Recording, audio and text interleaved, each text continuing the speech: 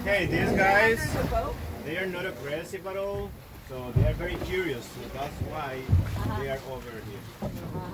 Just check.